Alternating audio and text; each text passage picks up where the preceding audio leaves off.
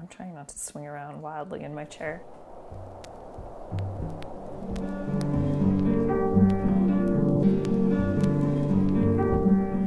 There were two main things that attracted me to this particular program. In the first place, the faculty were top notch, very prolific, very well regarded in their fields, but also really cared about their students and were really devoted to being good teachers as well. The other thing that I really liked about this school was the flexibility of the curriculum. We have these studies in courses studies in Shakespeare, studies in British literature, studies in poetry, and faculty can teach those courses however they want. And what we tend to do is tailor them to whatever project we're currently working on. So we bring a lot of passion and interest to the material, which is a win-win for us and for our students.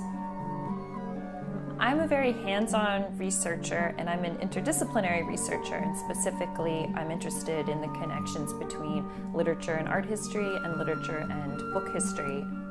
And so I have had a lot of adventures.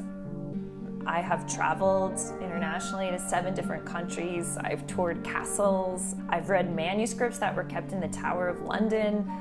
I've read the only surviving copy of a 1493 book I've just gotten to see objects that uh, make me feel connected to a past, objects that most people never get to see. Those experiences have been the most exciting learning opportunities that I've had, and I do try to share that with my students. We go to special collections and work with rare books. I've led study abroad trips to London and taken students to see plays at the Globe. I've taken students on campus to see plays. I'm always trying to bring my love of hands-on research to the classroom. I also think that what we do is important because it builds a skill that is harder to measure than something like writing or critical thinking. And it has to do with empathy. When you're an English major, when you're reading for class, you're inevitably putting yourself in someone else's shoes every time you pick up a text that you wouldn't otherwise read. And what that means is that when you're studying English, you're just constantly practicing seeing the world from a different perspective.